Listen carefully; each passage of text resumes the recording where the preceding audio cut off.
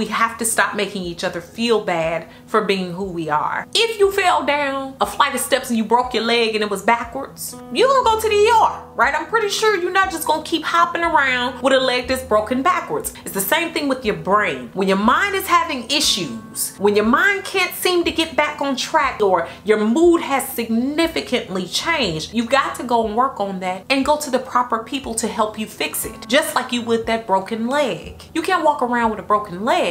You definitely don't want to walk around with a broken mind.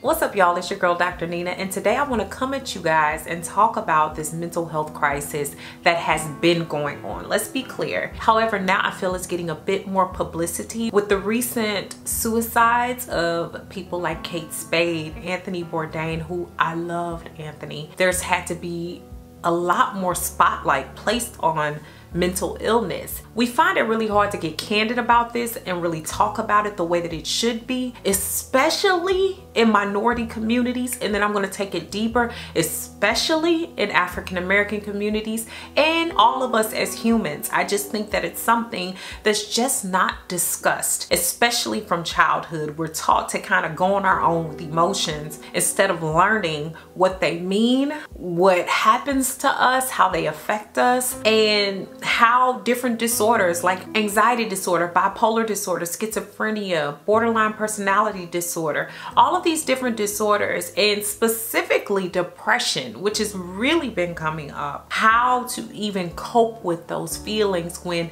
so many people feel that automatically something is wrong with you if your emotions are off kilter or off balance or what we like to call normal, which we know ain't always that normal. So today I come to you to not only talk to you about it from a psychological perspective, I'm not here to do that, but I'm also just gonna give you guys some ins and outs of things, give you some things to think about and maybe lead you to some things that you can research. And I definitely want this to help us better protect ourselves and our loved ones. And I also wanna say related to this, I am being honored this year at the Houston Black Business Expo. I am so excited. And the greatest thing about it is on August 4th with this it is free to the public to attend. So I urge that you click the link down in the info section and go ahead and reserve your ticket. And there are a limited amount of tickets. I plan to not only speak, but spend some time with my loyal and faithful subscribers and followers. And one of the biggest things I wanna focus on is mental health and also wellness. I'm being honored for being in this health space and I'm so excited and I'm so excited to get back to you guys. And I'm so honored to be honored. I don't even know any other word and I'm humbled by it. So hopefully I'll see you guys there.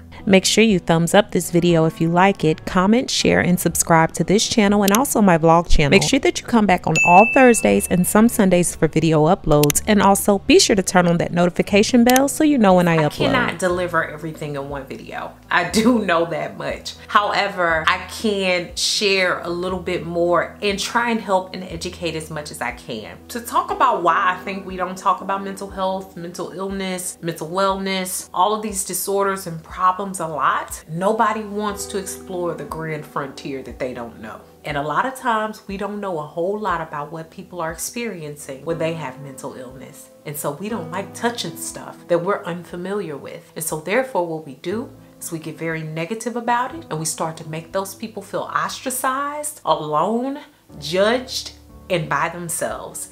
And that is where the problems start to seep in. We have to stop making each other feel bad for being who we are. Some of these people that walk around telling other people that they crazy for going to therapy are the very ones that need to check themselves and back up from the situation and maybe see what help they need to put in place. I've known people my whole life that are just now having the discussions of having mental illness. It's almost like telling each other is a horrible thing. And once you know that that person has mental illness, we automatically want to stay away from them. They become the crazy person. We don't want to deal with them. And I think it's just the opposite. So many of us struggle with so many things day by day and we're not being honest about it. And I think we got to be more honest about it. We got to be more caring towards each other. We got to be more kind, compassionate, empathetic. I didn't say sympathetic. I said empathetic, meaning that we at least try to put ourselves in their shoes. Everybody doesn't walk through life like we do. I, I feel like I'm a, quite a strong girl. And I realize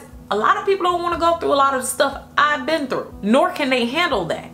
And I'm not to make them feel bad for that. What I'm to say is strengthen where you are. But nobody should be made to feel bad for skills that they're not taught. We're not taught emotional skills. We're not taught how to take care of ourselves emotionally. We need to teach people about emotions. It's not just two emotions out here. It's not just mad and glad. It starts there, educating yourself. And it also starts with our parents allowing children to work through their emotions. A child has the right to get angry. A child has the right to get sad. A child has the right to be happy. A child has the right to be kind of solemn and sit back and quiet. We like to tell them instantly, stop being so emotional. And I think as long as they're not harming themselves or others, allow them to learn how to work through that. Because the world is already gonna criticize them enough. And I don't think we should start off early by telling kids how they should feel all the time because they turn into adults who are emotionally unwise and emotionally make bad decisions and emotionally don't understand themselves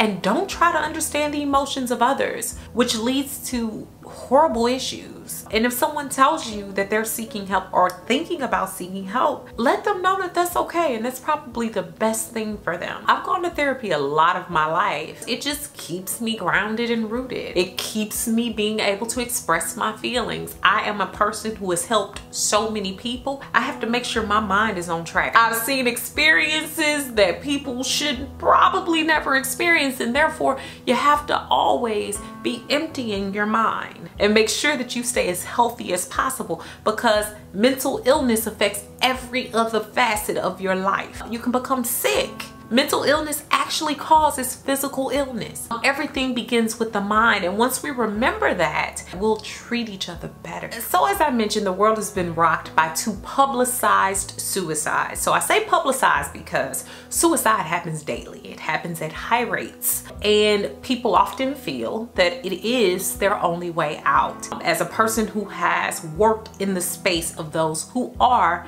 in suicidal crisis. It's not something to be joked about. It's not something to be taken lightly. It's not something to play with. It's something to really think about and really hone in on trying to keep that person safe and not just say that it's their issue. It doesn't just affect the person that might end up taking their own lives, but it affects the lives of their families, their friends, people around them, and it can sometimes strike a chord and cause others to follow suit of suicide. So with these two highly publicized suicides, I feel that more people have become sensitive to mental health issues and of course it's the hot thing right now. And I think we have to be careful about that because for so many years, mental health has been an issue. It's been a tragic issue. But at the same time, I think that this highlights it enough for people to realize that you can, according to the world, have the whole world. You can have it all. And there can still be, in your mind, hopelessness. I get very, very emotional thinking about this because I've not only been around people who were in a suicidal crisis mode. I've also helped to, you know, treat and and try to move beyond that and then also just even Anthony Bourdain for me was a big one because Justin, he's really into cooking as I've shown you guys before. And he really introduced me to the world of Anthony Bourdain and I really gotten into him, into his story and all of the things that he did and all the countries he went to and all of the tables he sat at and all of the wealth of knowledge that he seemed to bring. And a lot of people didn't even know that in the past he had heavily struggled with addiction uh, to different drugs.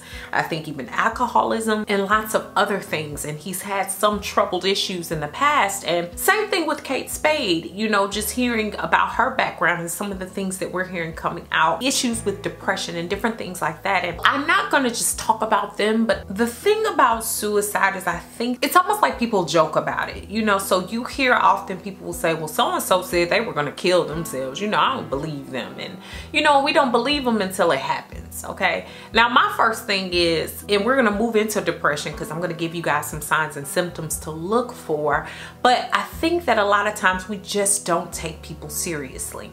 And with suicide, there's a lot to look for. And basically what you usually see with those who are going through this is not just depression, not just anxiety, not just different issues with that. They usually start to kind of withdraw. They start to not care about things as much. They might start giving away things that they once treasured a lot or, you know, give away things that are prized possessions. They might start going on spending sprees, things like that. Things that really indicate to one that knows them that they don't plan on being here tomorrow. They might even start to talk about death a lot or start to discuss life without them as if they're not going to exist longer than the moment or maybe far from the moment. I'm not gonna get into a lot of the clinical terms that go with this, but I want you guys to start to clue in to those around you. And this is in no way meant for you to diagnose, but you definitely want to start to ask people um, how they're feeling. I have my students go through something called QPR training. It's question, persuade, and refer. And basically through those steps, you listen to a person, especially if they start to exhibit some of those odd or different behaviors or talking about death or are insinuating that they won't be around for long or even kind of bringing up the possibility of suicide. You question them, you ask them if they're safe if they're okay. You maybe even ask if they have a means to complete said suicide or if they're talking about it, if they have guns or weapons, or if they have access to certain things that could assist in this situation. You also want to uh, pull out what could be happening in their lives and you want to persuade. When I say persuade, in that moment, you want them to feel supported. You want them to feel like you're listening, like you're not just writing them off, and also that you support them in a way like none other. One thing is we say we like to support each other, but when someone is talking about killing themselves or talking about death or talking about a lot of issues, we need to volunteer to get them to help and make sure they go through with that help. And if that means staying with them until that help arrives or staying with them and driving them to that help, that's the kind of action you need. That kind heart, that kind mind, non-judgmental. A lot of times one of the first things we like to do is to tell a person, why would you want to kill yourself? You you should never want to kill yourself. I mean, you don't know what they're going through. You don't know what that person has experienced. You don't know what they've seen. You don't know what walking in their shoes is. Everyone is not going to share with you their true experience. It's just not going to happen. And sometimes things have happened behind the scenes. If someone's been raped, if someone's been harmed, if all their money has has been taken, if they've been abused repeatedly and times and things that you don't know about. They might feel that this is their only option. And so that's where it's time for you to be able to question and ask without judging them or telling them what they need to do. If someone wants to contemplate suicide, you don't immediately want them to feel alienated because you start to say, well, you don't need to kill yourself and that's stupid and blah, blah, blah. Eh I mean, think about a time where you've been angry or upset. Do you want people to tell you you're stupid for being angry or upset? Probably not. And this is just as if not more severe. And with that, you also want to refer. You want to make sure you get them somewhere where they can get some help. Be it if you think it's a really serious situation, maybe convince them to go to the hospital so that you can get them into the ER where they can possibly find treatment, psychological or psychiatric treatment, and get the help that they need. That's just a, a short rundown of it. I've placed some links down below about suicide, about question, persuade, and refer I think it's an awesome thing, especially college students. A lot of colleges have the training for free. Suicide is like the second highest cause of death in students in college, and it's really high for the overall population. But other things are out there, certain resources, things like that. And if you are feeling that you might harm yourself and you feel alone and you have nobody, definitely reach out to hotlines. Definitely get up, go seek help, seek treatment, check yourself into a hospital.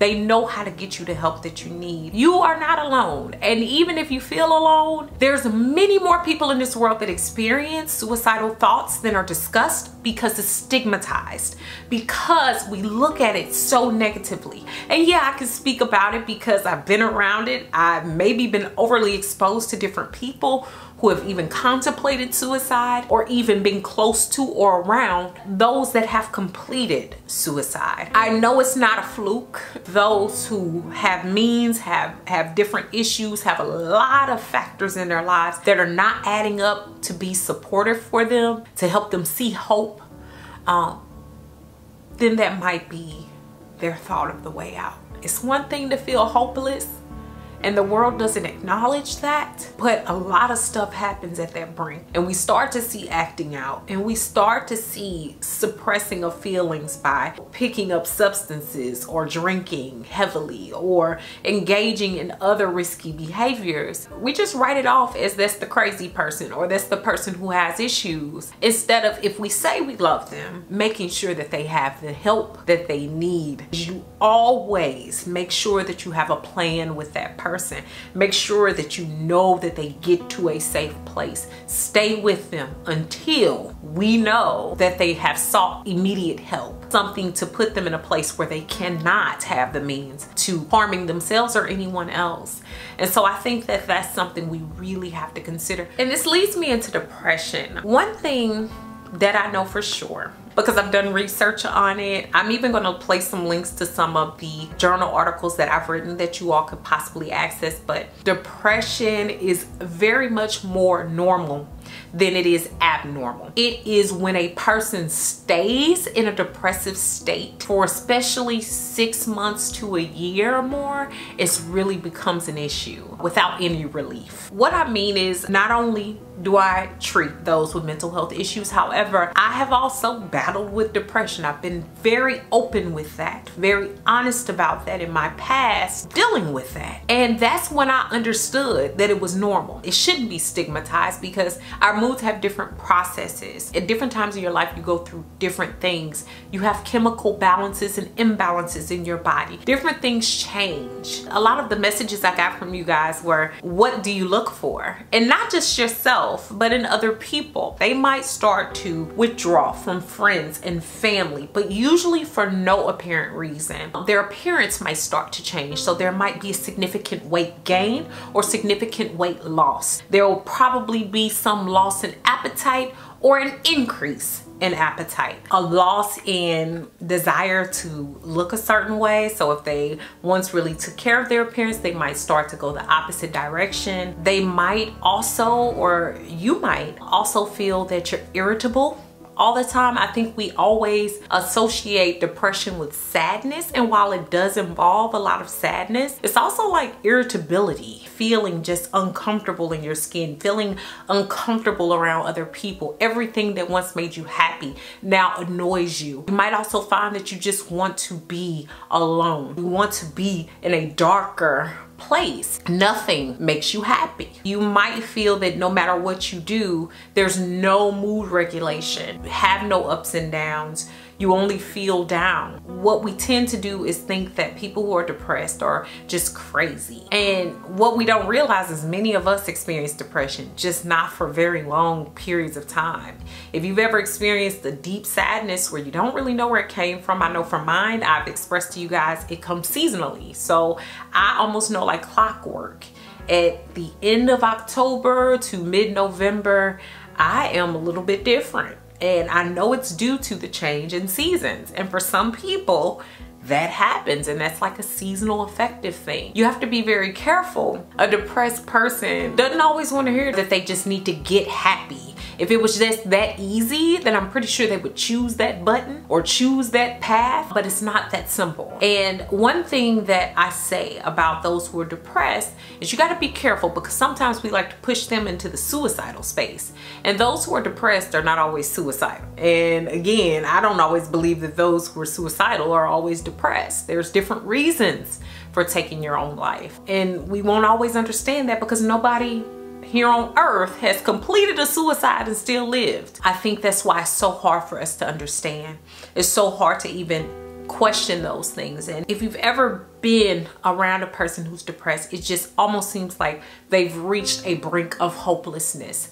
Nothing seems uh, worth it. Nothing seems good. Urge that person or take that person somewhere where they can seek help and counsel so that they don't end up feeling that something like suicide is the only way out. You also don't want to stigmatize them. Don't make them feel like, you know, it's stupid for them to feel that way. Once again, you don't want people to feel like uh, they're alone or that they shouldn't talk about it because if they don't, they're more likely to go that route because nobody understands and they feel judged and criticized. There's a lot of people out here walking around with depression. And we stigmatized it so much that people hide behind these fake facades. So they might seem to be having the world. They might be highly paid. They might have a great job. They might have a great family, but they might be hiding some level of sadness. And that doesn't mean you need to go looking for sadness. But if you experience that someone is always irritable, always sad, nothing makes them happy. They don't even engage in the things they used to.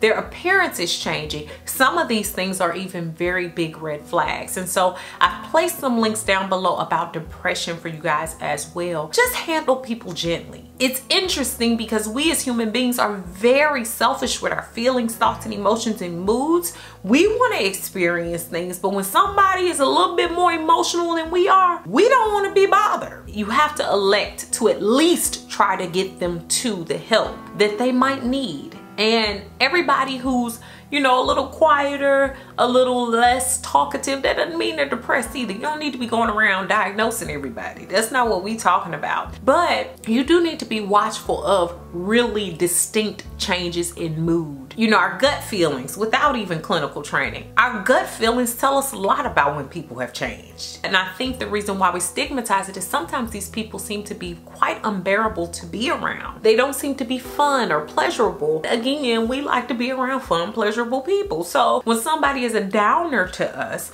we tend to want to get away from them. But that might be a time for you to really clue into your friend or family member who's having issues because they're probably crying out for help without crying. And nobody really wants to admit that they're depressed. And that goes for any mental illness. A lot of people don't want to because of the social stigma placed on it. I think someone asked me in one of the questions on Instagram is what do I think about the way that it's covered like in the media how suicides are covered i think we instantly go to how we remember that person. Oh that person was great. They were amazing. We don't know what happened with them. And i think what we fail to do is be more open and honest about the situation so that we save more lives. I think in the situations of like i said anthony bourdain kate spade i think we are talking a lot about all the great legacy that they've left behind and those types of things and we do hear some things about their family troubles that they had. But that's not really touched on as much as I would think. I'm sure many people notice different things about them changing. And even if they don't want to admit it, the way that we cover things is almost sometimes a glorification. Almost sometimes without hope of seeking treatment. It almost leaves us hanging off of a cliff and not knowing what direction to go. I feel like media and now social media cover it in a way that almost glorifies it. Instead of making sure that people seek the help that they need, instead of really making sure that people understand that it's normal to have issues.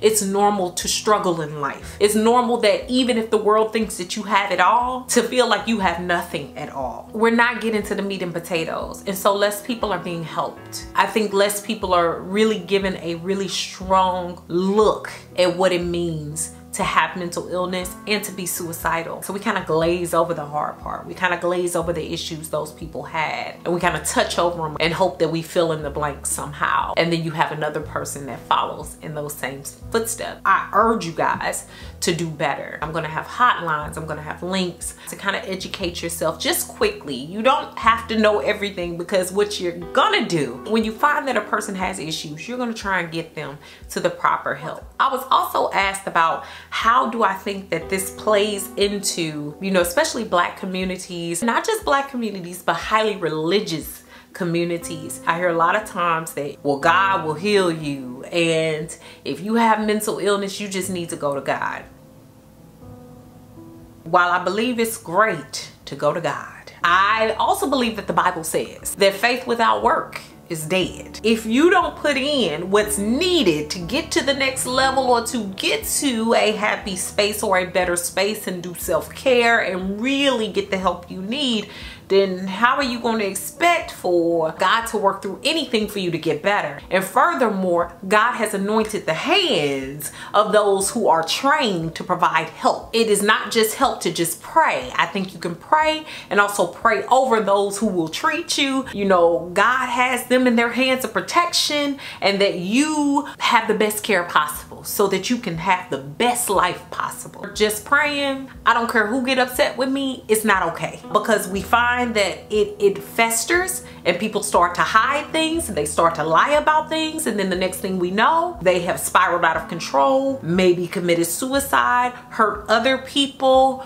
Um, you know if there's abuse going on they continue to pass that abuse down because they have not been properly educated or treated. Praying it away is only a part of it. Pray for going for the help that you need, asking that God work through those who are going to help you. I think that is how you get the proper help through prayer. And so I think we have to stop telling people that they can solve their issues because what we do is we make them feel broken. We make them feel abnormal once again when it's quite normal to have issues with mood and have mood disturbances and other issues. I think that we have to be very much more careful about how we nurture people and we make them feel okay for receiving help. This is how I feel about mental health. If you fell down a flight of steps and you broke your leg and it was backwards, you're gonna go to the ER, right? I'm pretty sure you're not just gonna keep hopping around with a leg that's broken backwards. It's the same thing with your brain. When your mind is having issues, when your mind can't seem to get back on track or your mood has significantly changed, you've got to go and work on that and go to the proper people to help you fix it. Just like you would that broken leg. You can't walk around with a broken leg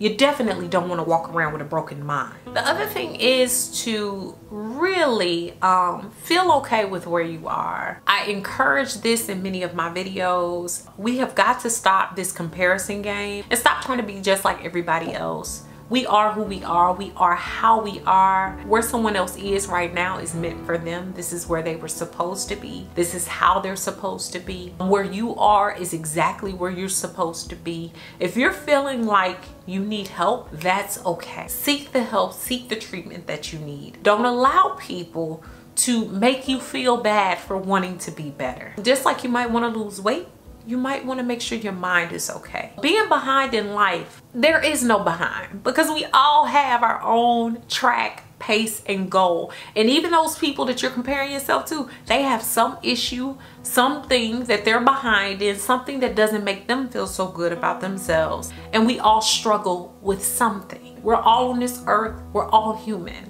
and so that's always something that I want to make sure I place back in your mind is that you're normal, you're fine. And some of us need a little extra help and guidance every now and again. And there is absolutely nothing wrong with that. Does that tarnish you? No. And finally, I want to talk about staying motivated during the storm or in spite of the storm. One thing I like to look at life like, this is something that I've, I've built up within myself over the years is that I expect that life will happen I expect that life will change. I expect that anything good can turn bad and anything bad is going to turn good because nothing stays the same forever. It's about your ability to learn to regulate during those storms, to learn to self-soothe to learn to have a circle of support. And when you don't have that, seeking the help you need to become better. And that's what I challenge you to do. Don't get down in the dumps about where you are or feeling bad. It's when you stay in that place a little too long that it becomes a problem and that it becomes a, a question and it becomes something that should be highlighted and should be helped. In spite of the storm, it's time that we start to equip ourselves with knowledge, with help, with good guidance, with those who don't judge us, in order for us to get through those storms and realize that trouble just does not last always. It won't. But your life will have ups and downs. And when I tell y'all I've had to build a level of mental toughness, I've had to learn that life's ups and downs don't define me that I am who I am in spite of. And that's something that we have to continue to instill, especially in our youth. Support them in being resilient, support them in being strong, support them in being persevering and tough, but also allowing them to explore and express emotion. I think we even stigmatize emotion because a lot of people don't have experience with emotion. And so we like to tell people that are emotional or explore emotions a little bit more or expose emotions a little bit more that they're crazy crazy. There's a huge issue when you will not acknowledge emotions and emotional differences and changes. That's how we communicate, correspond, and cope. We have got to normalize this. So like I said, I could talk about this all day and I know that there's different angles that I could have come at, but that was what was put on my heart today. I hope that you guys learned just a little bit of something today and that you all will chime in. I want to have a discussion here. I want us to get into this and, and really chat about this and really take this time to talk. Thanks so much guys for watching once again. And again, I cannot stress this enough. If you're feeling that suicide is your only answer, if you're feeling alone, afraid, seek help. Call the hotline number Get yourself to a hospital. If you feel that you can't talk to anyone, do that. If you know you have at least a friend who won't judge you, call them, reach out. And if you are the friend, reach back. Listen to your friends, hear your family, hear their thoughts. Don't dismiss them. Thanks so much for watching, guys. Beautiful brown baby doll. Peace.